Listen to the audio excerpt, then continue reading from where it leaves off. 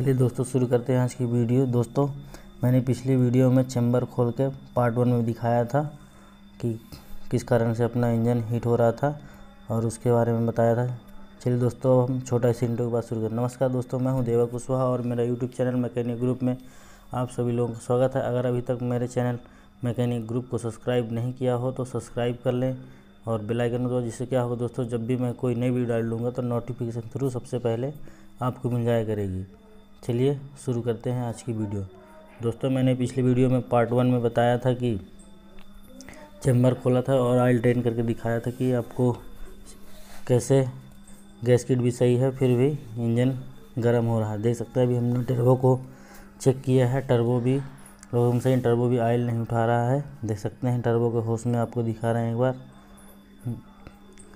चलिए टर्बो को हम खोल लेते हैं।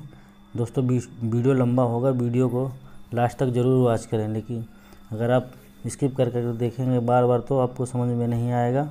इसलिए दोस्तों, आपसे रिक्वेस्ट है कि वीडियो को लास्ट तक ज़रूर वॉच करें। चलिए हम टर्बो के होस को खोल देते हैं और उसमें जो ऑयल पाइप लगा है उसको भी खोल देंगे। दोस्तों, मैंने अपने पिछले वीडियो में इसी का पार्ट वन का वीडियो बताया था सिक्स बी इंजन का। और इसी का दूसरा पार्ट अभी बता रहा हूँ जो कि फुल इंजन ओपन कर रहे हैं। पूरा का पूरा। देख सकते हैं आप, हमने टर्बो के होस को खोल दिया है। दोस्तों, मैंने आई बटन पर लिंक दिया है। अगर आप लोग को टाटा जी ग्यारह पचास का गेयर वॉश का देखना है तो आप मेरे आई बटन पर जाके देख सकते हैं। और मैंने इंड स्क्रीन पर क्राउन पिनियन और हाइड्रा का गेयर कैसे असेंबल करते हैं डिसमेंडर उसके बारे में बताया है स्टेप बाय स्टेप देख सकते हैं, हमने टर्बो को खोल दिया है। उसके बाद पंप नोजल के पाइप को खोल देते हैं। फ़र्स्ट और सेकेंड और थर्ड एक सीरीज़ में रहते हैं और चार, पाँच छः नंबर एक सीरीज़ में। देख सकते हैं, सबसे पहले हम पाँच और छः को खोल देते हैं, उसके बाद में एक और तीन, दो को। देख सकते हैं हमने पाइप को खोल दिया है, उसके बाद में रिटर्न पाइप खोल देते हैं। देख सकते हैं हमने आप लोग को चेक करके भी दिखा रहे हैं कि कैसे पाइप को खोलते हैं और उसके जो क्लैंप है सपोर्ट में पाइप के, नोजल पाइप, इंजेक्शन पाइप भी बोलते हैं, नोजल पाइप के उसके क्लैंप को भी खोल देते हैं, जिससे अपना पाइप बाहर आ जाएगा और हेड खोलने में अपने को कोई दिक्कत नहीं होगी। सब कुछ सही होने के बाद भी हम आपको गैस किट भी दिखाएँगे कि कैसे गैस किट सही है, फिर भी इंजन गर्म हो रहा है। देख सकते हैं हमने। नोजल पाइप को खोल लिया है। पाँच और छः, चार नंबर को। उसके बाद में एक, दो, तीन नंबर को खोल लेते हैं।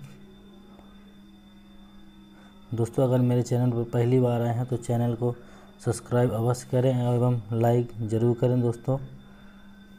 देख सकते हैं, हमने सभी नोजल पाइप को खोल लिया है। उसके बाद में हम टेपिट कवर कैप को खोलेंगे। चलिए पहले हम रिटर्न पाइप को खोल लेते हैं, जो रिटर्न वाल लगा है, देख सकते हैं हमने बेंजो बोल्ट रिटर्न को खोल दिया है और उसके पाइप को लूज कर दिए हैं और बोल्ट को उसी में फंसा देते हैं इंजन के हेड में। टेपिट कवर खोलने से पहले हम टेपिट कवर कैप के ऊपर जो बोल्ट है उन सबको लूज कर लेते हैं। एक एक करके। दोस्तों, जिससे वीडियो लंबा ना हो, इसलिए मैंने पहले से ही खोल दिए हैं। चलिए हम वाटर बॉडी को भी चेक कर लेते हैं। जैसे कि मैंने थम में आपको बताया था कि वाटर बॉडी भी सही है, फिर भी इंजन गर्म हो देख सकते हैं। वाटर बॉडी के बार हम घुमा कर देख सकते हैं। फिर भी इंजन वाटर बॉडी भी अपना सही से काम कर रहा है। हमने पार्ट वन में आपको इंजन भी निकाल के दिखा दिए थे। इंजन ऑयल भी सही था और ऑयल भी बराबर जा रहा था। चलिए हम टेपिट कवर कैप को एक एक करके खोल देते हैं। सभी को लूज करने के बाद एक एक करके सभी को देख सकते हैं हमने टेपिट कवर कैप और उसकी पैकिंग को निकाल लिए हैं। और सभी को फिर रॉकर को खोल लेंगे और हेड के बोल्टों को लूज करेंगे। देख सकते हैं हमने एक नंबर, दो नंबर, तीन चार, पाँच छः सभी टेबिट कवर पैक को खोल के रख लेते हैं।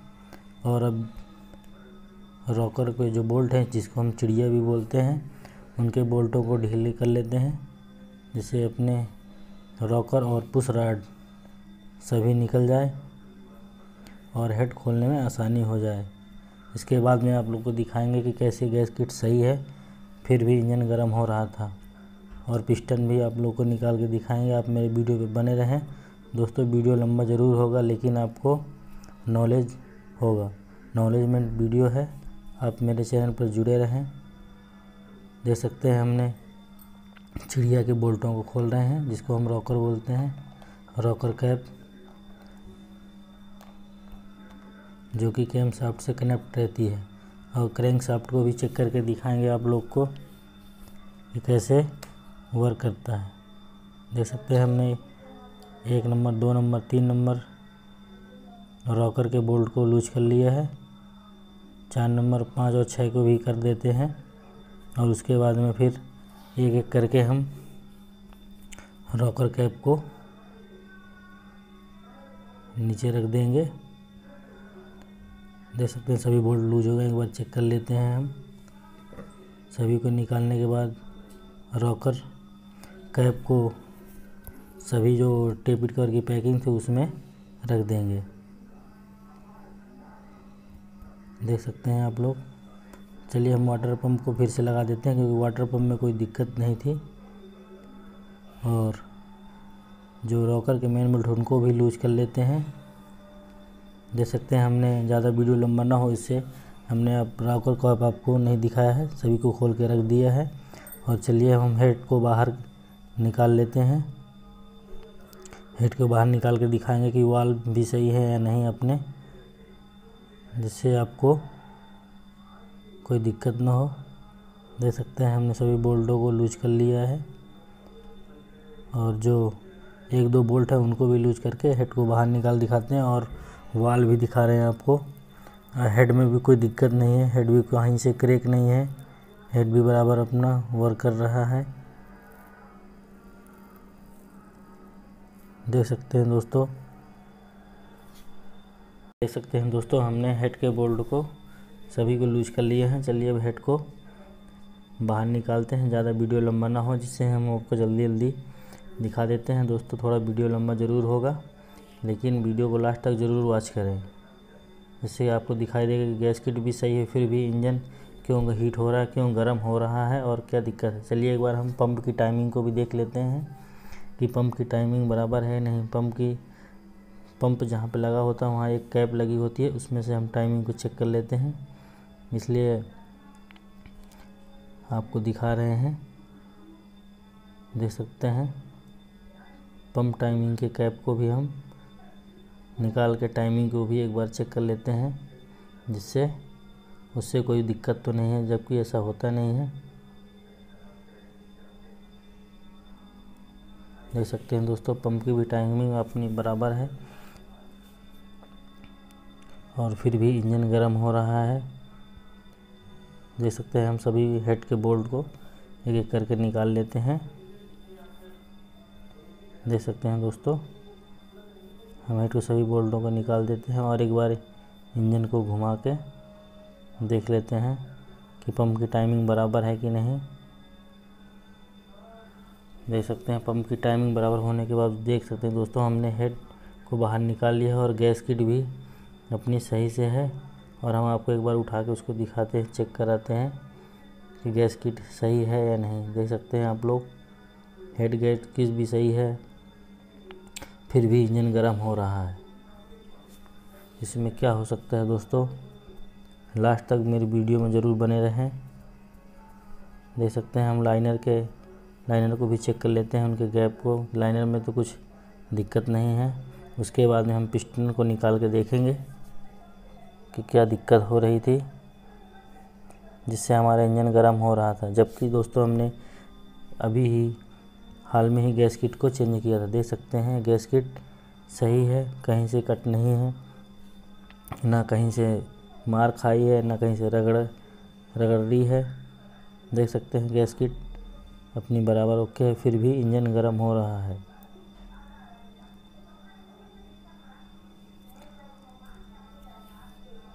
देख सकते हैं अपने हेड के ऊपर दो बोल्ट टूट गए थे जो क्रैक उनको भी निकाल लेते हैं। उसके बाद में पिस्टन को निकालते हैं। पिस्टन निकालने के बाद आपको बताएँगे कि क्यों गर्म हो रहा था, या पिस्टन में दिक्कत थी या ऑयल रिंग, कंप्रेसर रिंग में दिक्कत थी, जिसके कारण अपना इंजन गर्म हो रहा था, इसलिए हमने फुल इंजन को खोला है। देख सकते हैं गैस किट अभी भी इंजन के ऊपर ही रखे हैं, हेड के ऊपर। चलिए दोस्तों, अब हम इंजन को थोड़ा सा घुमा लेते हैं, जिससे पिस्टन निकाल के आपको लोग को दिखा दें कि क्यों गर्म हो रहा था अपना इंजन। सब कुछ सही होने के बावजूद भी। देख सकते हैं। लाइनर में भी कोई दिक्कत नहीं है। और फिर भी अपना इंजन गर्म हो रहा है।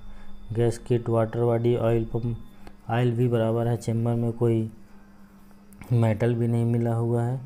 फिर भी इंजन गर्म क्यों हो रहा है? देख सकते हैं आप लोग। देख सकते हैं वाल भी अपने सभी बराबर सही हैं, जो कि सिक्स बी का इंजन है, बारह वाल वाल में भी कोई दिक्कत नहीं है दोस्तों। चलिए हम इंजन को एक बार घुमा लेते हैं। नीचे की तरफ़ डाउन कर देंगे, देख सकते हैं। हम इंजन को डाउन कर दिए हैं और पिस्टन निकाल के आप लोग को दिखाते हैं कि किस कारण से इंजन गर्म होता है या कनेक्टिंग बैरिंग में कोई दिक्कत है या क्रैंक साफ्ट में कहीं दिक्कत तो नहीं है। चलिए अब हम इंजन को घुमा लिए हैं और हम कनेक्टिंग बैरिंग को कितना नंबर खोल रहा है? पाँच नंबर? उसके बाद। बताएँगे कि दो नंबर। अच्छा इधर। दो पाँच। आप उल्टे चल रहे हो क्या? क्लोज करके तो क्लोज करके चल रहे हो क्या? स्टैंडर्ड साइज़ की लगी हुई है। जिसमें पता चले क्लोज करके फायरिंग डाल दी। कट लगा हैं। कोई बात नहीं कौन इतना देखने वाले भी इतने होशियार हैं? देख सकते हैं। दोस्तों दो नंबर तुम बोलेगा फर्जी वीडियो डालता फर्जी बना सकते कनेक्टिंग पैड को भी लूज कर लेते हैं। और फिर हम दो नंबर पिस्टन को बाहर निकालेंगे और गियर बेरिंग कनेक्टिंग बेरिंग को भी दिखाएँगे आपको टक टक की आवाज़ आती है कंप्रेशन भी नहीं चेक करेंगे ऑयल चेक करेंगे उसमें तो कारण अपना C R bearing engine heat हो रहा था ज़्यादा गर्म हो रहा था। एक घंटा चलने के बाद चलिए अब हम अरे यार अरे यार क्या हो गया? करते हैं आप लोग को देते हैं। चलिए हम कनेक्टिंग कर ले ले टूल से। दिखा रहे हैं। तो कारण अपना इंजन गर्म हो रहा था। सकते हैं दोस्तों हमने दोनों को साथ में खोला है चलिए हम बोल्टों को निकाल के आपको मक्खी मक्खी कट लगा होता है देते हैं बेरिंग सही है ना? ऐसा देख। यूँ निकाल। तेज बोला करो यार। ये ये मक्खी। और ये मक्खी सेम हम्म। ये दिखा। मक्खी में बस। मक्खी है सकते हैं। ये मक्खी ऐसा कट लगा हुआ है। बेरिंग भी सही है। हम दूसरी दो नंबर की। बैरिंग को भी निकाल लेते हैं। दिखाता हूँ।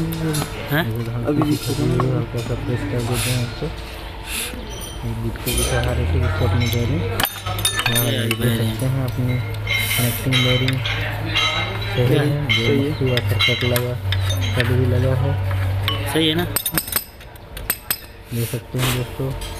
उसकी। क्रैंक शाफ्ट भी। बेरिंग में ये कट। है। ज़रूर ध्यान रखें ना ये फिटिंग कर देना बाहर निकाल मक्खी से नंबर को मक्खी। पिस्टन को चेक